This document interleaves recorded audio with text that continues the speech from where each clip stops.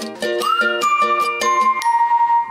دائما في مواضيع جديدة بنحب نطرحها ببيت بيوت حتى أنتم كمان يكون عندكم فكرة عن كل القصص الجديدة اللي بتدخل بعالم الانتيرير. اليوم رح نحكي عن التلبيسات والمواد المستعملة بالمشاريع الهندسية وكيف فينا نمزجها ونظهرها. يعني عم نحكي عن الخشب عم نحكي عن الجفصين عم نحكي عن كل المواد المستجدة اللي صارت اليوم هيك جديدة بعالم الهندسة الداخلية. ورح نحكي عنها أكثر مع المهندس الداخلي والأستاذ الجامعي زاهر عبد الله صباح الخير. صباح الخير أهلا وسهلا فيك. لك وللمشاهدين. تعودت إنه أنا ادمك فيك الجمعه فيك فيك.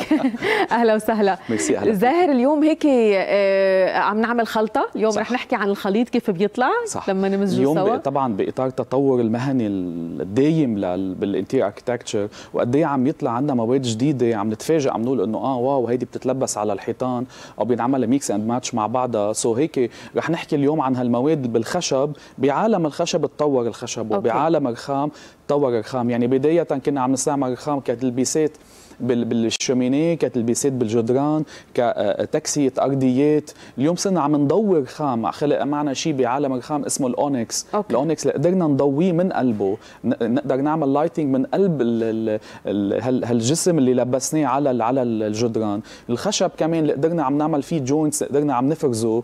قدرنا عم بيكون hidden door مع مع الأبواب بال dining area أو بال kitchen area so تطور المواد وعملية مزجها ببعضها. خلينا نتطرق اليوم لهالموضوع اللي كمان خطر مريت كمان إذا ما كنا عم نمزج هالمواد بطريقة, بطريقة. هيك mathématique إذا بدك أو هيك نشتغل. by the book أو by layers رح يكون عندنا مشكلة كثير كبيرة رح يكون في عندنا عم عم نصرف على مواد نعم. وعلى تلبيسات عم تختفي بالجدران لا لازم نشتغل layers لازم, لازم نشتغل أول couche والثاني والثالثه وتراتبيه according على ال design وعلى ال shop drawings خرائط التنفيذية لحتى نوصل لهيك خواتيم سعيدة مثل ما بيقولوا هلا حضرتك عم تقول زاهر إنه بدنا نمشي by the book في قصص صح. فيها هلا العين يعني إذا شخص ما بيعرف باللي حضرتك عم تقوله أو ما بيعرف الحسابات العلمية لما ممكن العين تنفر من حيث التنفيذ قصدك أي. من حيث الرؤية صح. ال perspective هو موضوع ال design وال 3 D design وال perspective هو عملية استباقية للتنفيذ okay. هون نحن عم نهرب بال design عم نهرب لحتى نفرجي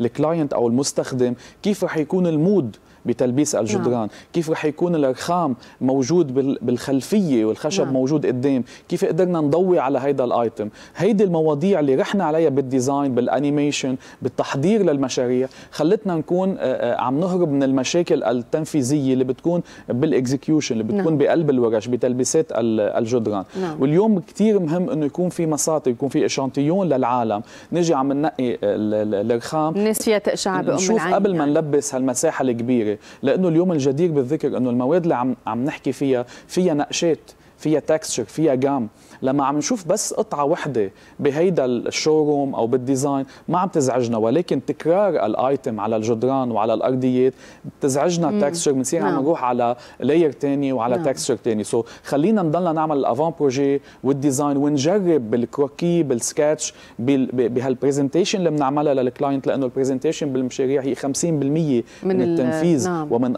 الاقناع لأنه إذا عم نقنعك بهيك texture أنت منك منك حاببتيها نعم. فيك تاخذي قرار ترجعي تقبعيها لأنه ما رح تحبيها وهيدا المساحه اللي عم تعيشي فيه. حلو. طيب اليوم زاهر شو أكثر آه هيك مواد اليوم عم تطلع حلوة لما عم نمزجها سوا؟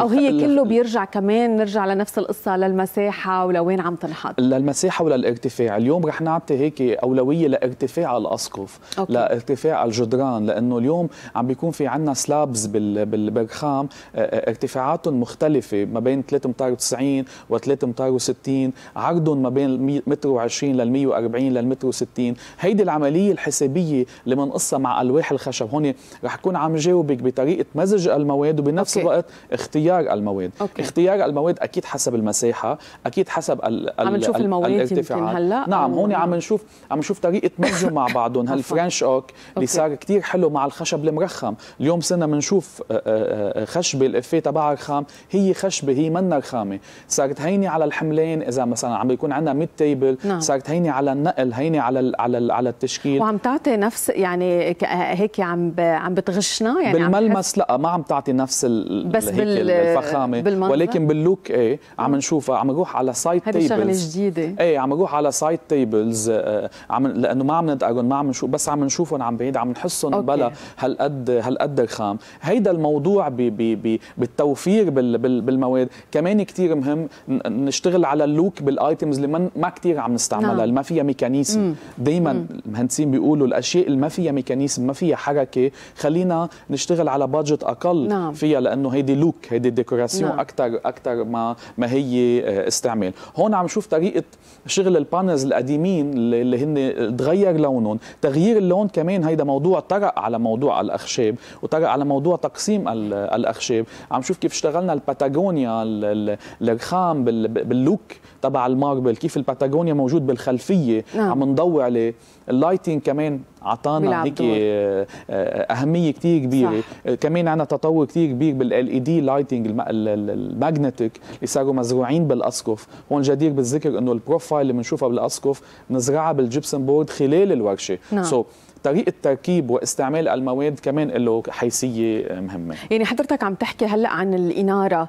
صح. كمان الإنارة بتلعب دور بأنه هي تغش النظر؟ آه، بتلعب دور إنه تظهر المواد أكثر ال illusion أو ال optical illusion اللي بتعطيها المواد بنروح على اللي فيها reflection أكثر اللي فيها miroir اليوم مثلا بالمرايا بعالم المرايا صار في شيء اسمه infinity mirror اللي بنطلع فيها بنشوف ال perspective اللي غرقان لجوا وكأنها مغارة. هيدي كمان من خلال تطور المواد قدرنا نلمس هذا الشيء هون لازم يكون ال architect على طول عنده هالاطلاع على طول عم بيزور عم بيزور معارض على طول عم بيكون في عنده نعم. عم بيكون هيك updated على مواضيع جديدة لأنه فوبا آه، آه، آه، إنه يجي ال client لعندك على المكتب يقول لك في مادة جديدة بالسوق ما كن شايفينها أو ما نكون عندكم علم فيها.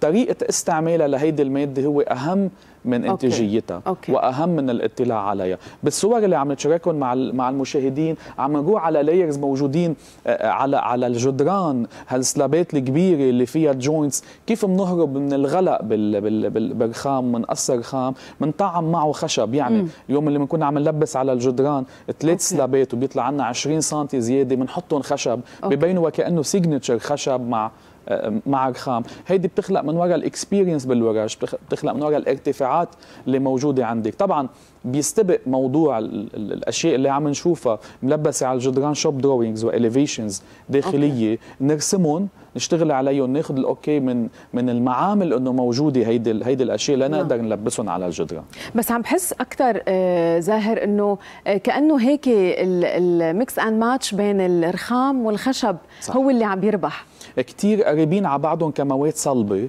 كسمكات لأنه موضوع السمكات يعني لوح الخشب اللامايكا سمكته سنتي و2 ميلي لسنتي و3 ميلي. أوكي. الواح الرخام كمان آه، آه، سمكاتها ما بين 9 ميلي والسنتي والسنتي ونصه. كثير قريبين بالسمكات لبعضهم ما بيزعجوا بالتشكيل وبالتفصيل. أوكي.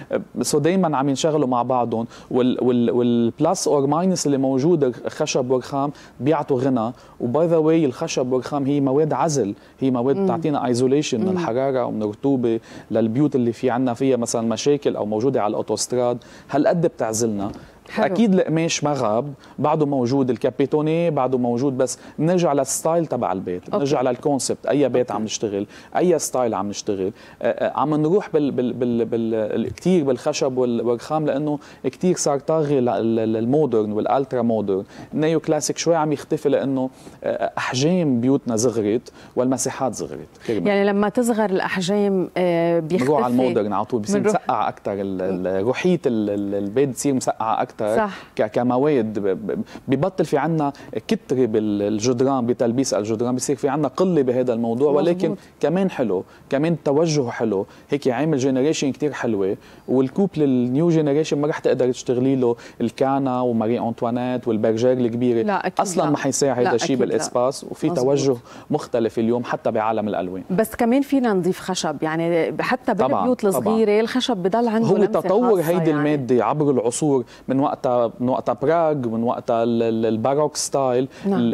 والخشب المحفور اللي اشتغل اللي اشتغل بالكنايس لو وصل لهون صار هالقد ل mica wood عم بتشوفي ضرفة المطبخ هي push to open بتفتحيها بتفتشي على المسكة ما بتلاقيها so هالقد صار آه، في عندنا تطور بعالم الأخشاب نعم. صار في glossiness صار فيها ال glossy ال reflection اللي كثير قوية اللي هي effet miroir so هيدا تطور فظيع بعالم ال ال ال الأخشاب نعم. وبعالم المواد بشكل عام والجدير بالذكر كمان هون في كتير مواد طرقت انعمل لها polishing للمواد يعني الرخام صار فينا نلمعه أكثر الخشب صار فينا نلمعه أكثر هيدا التطور الفظيع بهالاختصاص خلينا اليوم نسلط الضوء على هيدي ال zone إذا آه عم بيكون في عنده هيك لمسة خاصة في الخشب. هلأ كمان عم عم نشوف آه زاهر عم عم بحب عم بحب الحيطان. لأنه طريقة تلبيسها ماشي مع الأسقف مع ارتفاع الأسقف. ال joints ما عم بتكون مملة. الألواح الكبيرة ما عم بيكون موجود عم بيكون في joints النظر منها. إيه هذا اللي بدي أقوله. التكرار التكرار الحلو بعالم التلبيس